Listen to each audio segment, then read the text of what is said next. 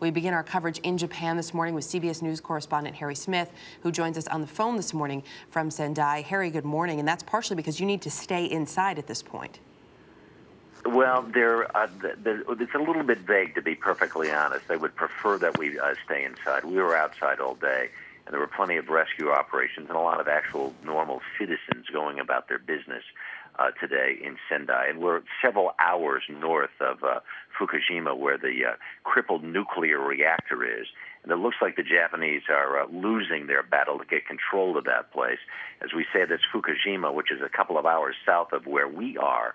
Well, there was even more bad news today.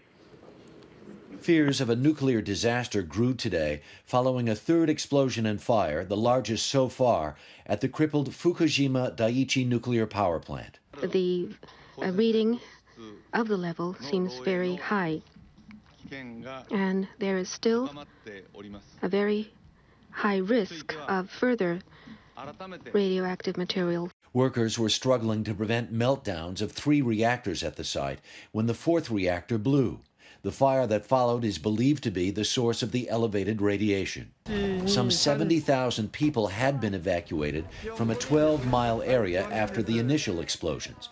Now, a new warning has been issued to another 140,000 people living near the plant. We would like to ask you to remain indoors and avoid going outside. As many as 800 workers at the site were also evacuated. Elevated levels of radiation have already reached Tokyo. At this time, officials say they don't pose a health risk. Japan's nuclear crisis now appears to be worse than 1979's Three Mile Island accident, but not yet as bad as the Chernobyl disaster in Ukraine in 1986.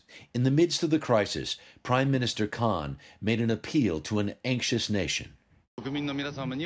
And I would like to ask the nation, although this is an incident of great concern, but I request that you act very calmly.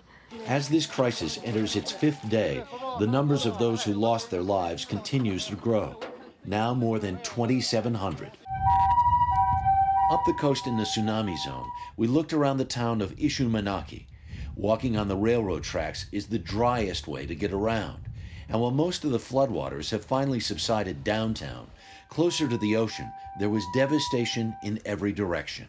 In town after town along the northeast coast, the scenes are similar, if not the same. Wherever the tsunami came, wherever the water reached, it destroyed everything in its path. It's downright apocalyptic. This man owned a seafood processing plant on the waterfront. It's gone. He's not seen or heard from his son since Friday. Your youngest son is missing. Missing. Missing. Missing. I believe he's my son, so he's he must be surviving. DNA, my DNA. Your DNA. Right, okay. So you think he survived? Yep. We hope his optimism is not in vain.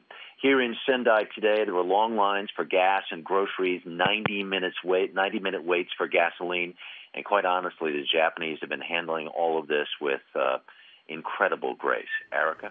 Yeah, that, that seems to be definitely one of the headlines we, we should emphasize there is how well they're handling this. There's a lot of focus today, Harry, on the weather in the area and how that could impact uh, the nuclear plants there. What's the latest? Yeah, the weather is, uh, frankly, especially up here in Sendai, kind of crappy, but uh, it has been to the advantage uh, of all who uh, live along the coast because the pri- uh, uh, primary winds uh, have been from the uh, from the west, and so that uh, has been blowing the nuclear material material out to sea, and uh, that's the way the weather looks, uh, at least for the uh, foreseeable future. So there is some good news there. All right, Harry Smith in Sendai this morning. Harry, thanks.